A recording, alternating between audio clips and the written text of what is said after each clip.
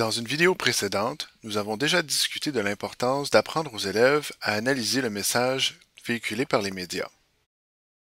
Nous l'avons d'abord fait en énonçant les principes de base d'une veille médiatique efficace. Dans cette vidéo-ci, nous discuterons de l'analyse des images médiatiques elles-mêmes. Dans cet exemple, nous proposons d'utiliser le TNI au début de la phase de réalisation. En fait, nous proposons le modelage d'une technique d'analyse des images médiatiques. Pour en apprendre davantage sur l'analyse du langage médiatique, visitez le site du Centre de ressources en éducation aux médias à l'adresse affichée ici. L'analyse d'images médiatiques passe par un certain nombre d'étapes.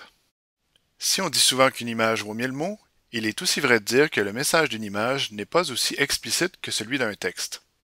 En fait, une image médiatique fait souvent surgir beaucoup plus de questions que de réponses.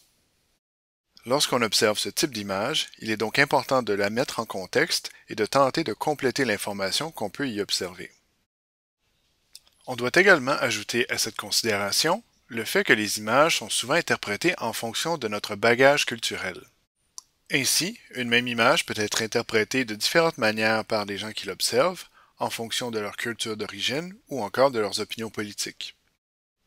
Dans les médias, les images sont la plupart du temps accompagnées d'un titre ou d'une description.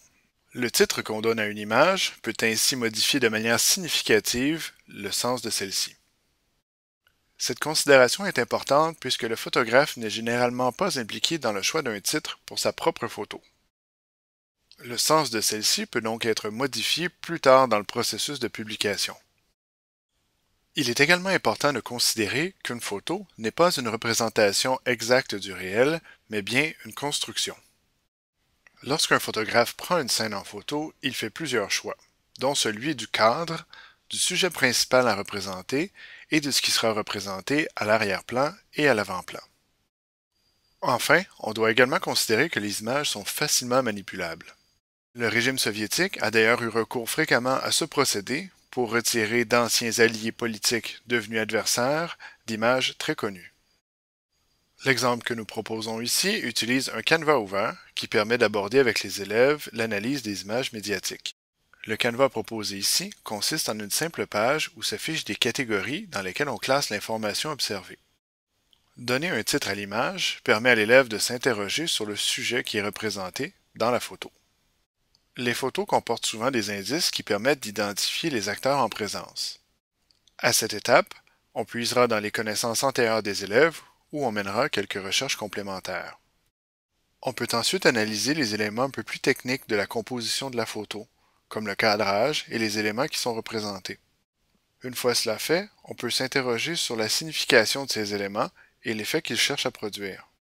La synthèse de tous ces éléments nous permet de nous interroger sur les intentions du journaliste.